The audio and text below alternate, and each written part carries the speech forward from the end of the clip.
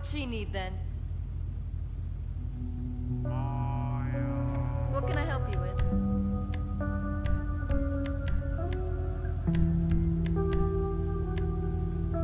You got some machine under that bonnet.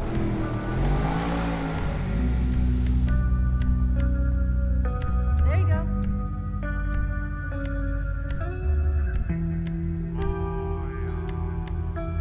Looks almost as good as you.